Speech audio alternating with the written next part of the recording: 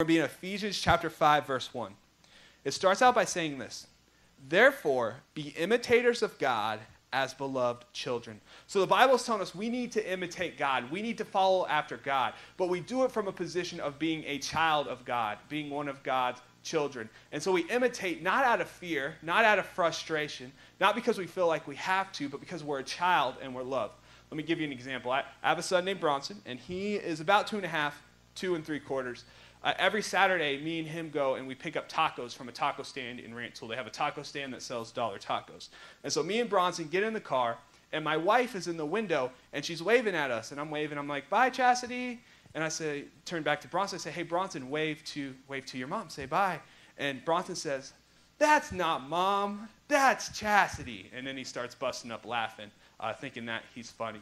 Really, what he's doing is he's imitating me, right? Like he wants to say what I say, and he does this all the time, and his younger brother Sterling does the same thing. They imitate me not because I'm forcing them to, not because they have to, but because they love me and they want to. And so we imitate God not for the love of God, uh, not to get the love of God, but because we have the love of God inside of us, because we're children of God and we want to represent our Father.